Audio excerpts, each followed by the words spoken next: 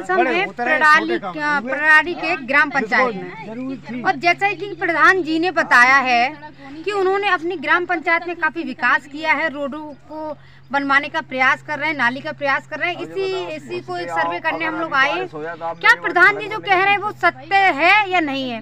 आइए यहाँ के कुछ लोगों से बात करते हैं पूछते हैं जो यहाँ रोड का निर्माण चल रहा है। क्या ये प्रधान जी के कार्यकाल में चल रहा है या पहले से था? या कितने परसेंट प्रधान जी सच बोल रहे हैं? हाँ। इधर आ जाइए अंकल जी। तो कितने दिन से रोड नहीं थी बताइए पूरी बात। क्या नाम है आपका? श्री किशन जी ये बताइए। ये जो रास्ता है जहाँ हम लोग खड़े हैं कितने साल से ऐसा ही ये है? तो मैं तो कम से कम तीस पैंतीस साल देखा था ऐसे सिंगल रास्ता को पानी भरो को साइकिल को कुछ अभी तो कहाँ अभी आप देख सकते हैं यहाँ कहीं पानी नहीं भरा है। तो अब तो नहीं भरा अभी पच्चीस तीस साल पहले तो भरो तो। अच्छा पच्चीस तीस साल से पानी भरा हुआ था यहाँ। हाँ पानी भरा ही रहता था तो उसका इसका निर्माण कैसे हुआ? निर्माण प्रधान जी ने करवाया कैसे अच्छा प्रधान जी ने करवाया। और तो क्या कहेंगे आंटी जी? ये जो कह रहे हैं अंकल जी इस ये जो कार्य कर रहे प्रधान जी ने करवाया है क्या? प्रधान जी ने करवाओ जो अभी वर्तमान के प्रधान जी उन्होंने करवाया है? ना आज है अब के अभी तभी हाँ क्या नाम है प्रधान जी प्रदीप जी? प्रदीप जी। प्रदीप जी। चलिए तो क्या लग रहा है आने वाले टाइम में और अच्छा कार्य करेंगे या नहीं करेंगे? अच्छो करे। जब अच्छा छोटो ये कर रहे बहुत बेकार सड़क पड़ी हुई थी। तो पच्चीस तीस हमें वही पचास साल तब अच्छा पचास साल से पानी भरा हुआ था। किसी ने सुनवाई नहीं की? नहीं करी नहीं करी। प्रशासन की कोई सुनवाई नहीं की गई और आप लोग ऐसे पानी भरे में निकलते थे। पानी भरे में निकलते थे प्रधान जी ने ये करवाया। तो पानी भरे में निकलते।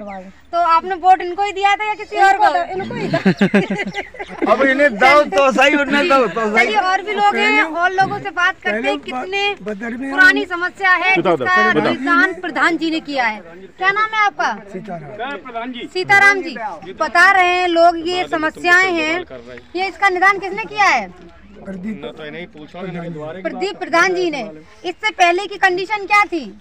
निकलो ही नहीं जाते। निकला नहीं जाता था। तो कैसी कैसी समस्याओं का सामना करना पड़ता था पहले?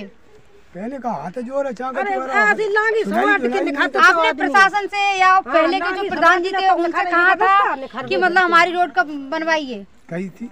तो उन्होंने नहीं बनवाया। तो आज हम आए हैं सैफई ब्लॉक में ग्राम पंचायत प्रणाली में प्रणाली में। और आज हमारे साथ बात करने के लिए उपस्थित हैं उप नवनिर्वाचित प्रधान जी। आइए इनसे जानने का प्रयास करते हैं कि ग्राम पंचायत की जनता ने काफ़ी अच्छा जनार्दन दिया।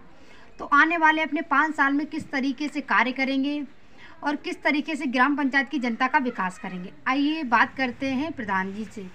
क्या नाम है सर आपका? प्रदीप कुमार माथुर। जी ये बताइए सर आपको ग्राम पंचायत की जनता ने बहुत ही भारी मतों से विजय किया है। तो ग्राम पंचायत की जनता का आने वाले टाइम में कैसे विकास करेंगे और कैसे धन्यवाद देना चाहेंगे?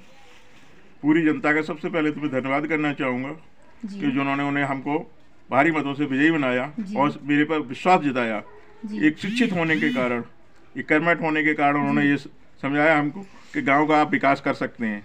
आप निष्पक्ष भावना से सबका विकास करें। तो मैंने उसी भावना से सबके साथ जोड़ के और खासकर उन गरीब लोगों के लिए जो ज़्यादातर दबे कुचले या अपनी बात नहीं कह सकते हैं आज हर आदमी व्यक्ति मेरे से जगह जगह मिल के रास्ते में खड़े करके भी अपनी बात कह लेता है और कोई भी समस्या आती है वो हमको बता देता है। सर अभी हाल ही में कोरोना काल चल रहा है दो साल से चला आ रहा है। तो आपने अपनी ग्राम पंचायत की जनता को कैसे बचाया कोरोना से? कुछ लोग बेरोजगार भी हो गए तो उनको कैसे रोज़गार दिला पाया आपने? कोरोना काल में सबसे ज़्यादा वैक्सीन का जो आया तो मेरी पढ़ाई पंचायत पूरे ज़िले में नंबर एक पे थी। सबसे पहले मैंने 125 लोगों को वैक्सीनेशन कराया जब अन्य जगह कोई वैक्सीनेशन नहीं होता। और पूरे गाँव को इस तरह मॉडिफाइड किया कि नहीं इससे हम लोगों को बचाव होगा ना कि किसी प्रकार के किसी को नुकसान होगा। तो लोगों ने हमारी बात सुनी क्योंकि उनका विश्वास था मेरे ऊपर। उन्होंने अपने सहयोग के साथ हमें सबने वैक्सीनेशन कराया और पढ़ाई में आज नंबर एक पे पूरे गाँव में वैक्सीनेशन हो गया। सर कितने परसेंट वैक्सीनेशन हो चुका है आपकी ग्राम पंचायत में सेकेंड डोज लगभग सेकेंड डोज तो हमारे यहाँ करीब सेवेंटी परसेंट के आसपास है। सेवेंटी परसेंट हो चुका है।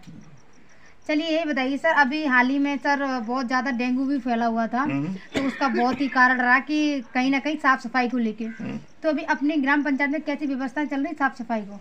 साफ़ सफ़ाई के लिए मैडम देखिए हमारे यहाँ जो कर्मचारी लगे हुए वो साफ़ सफ़ाई करते हैं बाकी मैं हमने छिड़काव करवाया है एंटी लार्वा का छिड़काव करवाया है और उसका छिड़काव करवाया है वैक्सीनेशन जो वगैरह है सर ये बताइए सबसे अगर साफ़ सफ़ाई की बात कर रहे हैं तो बहुत महत्वपूर्ण मुद्दा आता है शौचालय। हम्म। तो सर आपके यहाँ कितने परसेंट लोगों के यहाँ शौचालय की व्यवस्था है?